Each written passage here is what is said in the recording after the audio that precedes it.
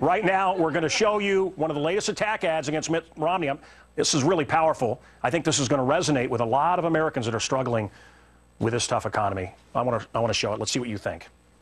Out of the blue one day, we were told to build a 30 foot stage. Gathered the guys, and we built that 30 foot stage, not knowing what it was for. Just days later, all three shifts were told to assemble in the warehouse. A group of people walked out on that stage and told us that the plant is now closed and all of you are fired. I looked both ways. I looked at the crowd and uh, we all just lost our jobs. We don't have an income. Mitt Romney made over $100 million by shutting down our plant and devastated our lives. Joining me right now is uh, the CEO of Euro Pacific Capital and author of the book, The Real Crash, Peter Schiff. Peter, you just, you just saw that. You're a business owner. How do you justify what people just saw? Well, it's an ad that's designed to appeal to people that don't understand how capitalism works. And I guess that's fitting because Obama doesn't understand it either. But yes, it's very appealing. But the problem is sometimes people lose their jobs in a free market. And sometimes the best way to create better jobs is for some people to lose their jobs. Look, resources in an economy are scarce. And it's up to a business to produce as much output using as little input as possible. And some of those inputs are labor. But whatever Peter. labor is freed up by one business is now available to do Peter. something else and to be more productive. Peter. And you know, sometimes, let's say there's a company yeah. with a thousand people that is losing money and is going to go bankrupt, if firing 200 people can keep that company in business and profitable, then you fire 200 people, you save the jobs of 800, and now those 200 people can start doing something more productive with their time and labor, and everybody will what, benefit. What, are they going to do more productive with their time? Sit around? Without a job? Well, no, I, I mean, they're going to get what, other jobs. Look, no, it sounds great. It sounds great. What you're saying sounds great. Uh, what I understood of it. H however, to the regular guy sitting out there, America's a mess right now. They don't have jobs. That ad is powerful.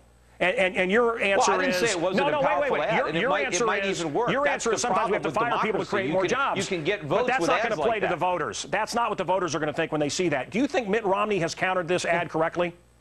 Has he fought no, back? I, I think he needs to embrace the free markets in, in a bigger way and explain that the biggest barriers to job creation is government. Look, I'm a small employer. I have about 150 employees, and the only reason I hire people is to make more money for myself. That's the only reason anybody has a job, because their boss wants to make money. But I would have a lot more people working for me now if it wasn't for government. In fact, I've opened an office in the Caribbean, and I'm opening up another one in Ireland. I would rather do that in America. I would rather employ more Americans, but the U.S. government makes that impossible because they've made it too expensive. The regulations are, are, are pricing American workers out of the market. You're an outsourcer proudly. Yeah, right? and so was Mitt Romney. But what he should uh, run on is why. What forced him to outsource? It was big government. It was the exact type of policies that Obama is pursuing. And if we want a vibrant economy, we got to get the government out of the way. We can't run up the Peter, cost of doing business Peter, in this how country. do we get these jobs back in America? That's what I want to know. How do we get them back?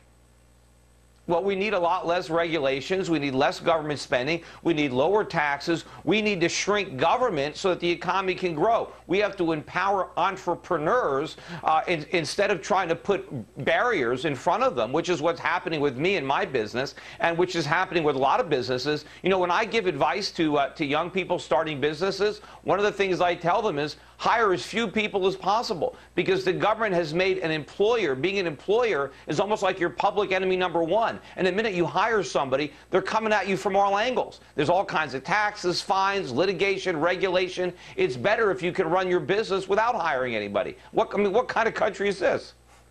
Obama's attack on the American breadwinners and Peter Schiff's take on it coming up next. Unless you've been hiding under a rock, You've probably seen this by now, but I want to play it one more time because the more I hear it, and the more you hear it, the more ridiculous it sounds. Somebody helped to create this unbelievable American system that we had that allowed you to thrive. Somebody invested in roads and bridges. If you got a business, that you didn't build that. Somebody else made that happen. Wow. All right, Peter, you heard him. According to uh, our beloved president, you, you didn't build your business. If you didn't do it, Peter, who, who built your business?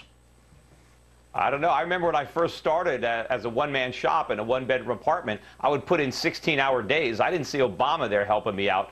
You know, this whole idea, though, is resting on the false premise that the wealthy people made their money by taking something out of society and that they have to uh, give back. It's actually the opposite. Wealthy people earn their money by putting in. They provide the economy with all the goods and services that we desire. You know, I'm not doing this interview naked. I've got a suit of clothes Thank on. God. And the wealthy people that provided me with these clothing, yes, they got paid, but I'd rather have the cash than the clothes. But in the process of satisfying my desire to, to not be naked, they employed a lot of people. So it's the wealthy entrepreneurs that take all the risks, that, t- that, Yep. that take all the sacrifices, that work the hardest, that put in the most hours, that keep the society going, that create all the goods and services, and they provide all the jobs. And the biggest barrier to doing that is government. Peter, you're not naked from, I mean, what we can see, you're clothed, but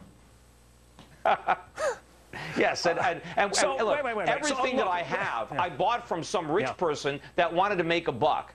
And they gave me look look at all the all the things that we have that Steve Okay, Jobs Peter, provided Peter. us with, all the, the computers and all, all, all the products that we love. Did, right. did he have to give anything back? As far as I'm concerned, he shouldn't have paid any taxes. all right, look, I know you like making a buck. It's great. But other than making a buck, don't you have any responsibility to give back to society? You've, you've made a lot of money. Obama just says we should all, we should all just put it in a big uh, pot and, and share it. Isn't that nice?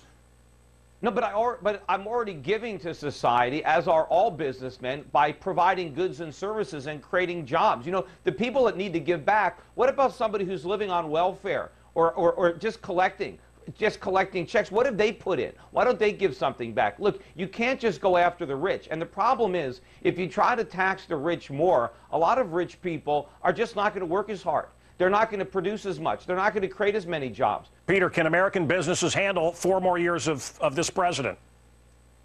I don't know, mine might, uh, because part of my business is helping Americans get their money out of harm's way by investing abroad, buying gold and silver, getting out of the dollar. Uh, you know, since Wow. an Obama presidency is terrible for the economy, you know, it, uh, my business might improve somewhat, although I'm not sure if I'm going to have any money left over after he finishes taxing me.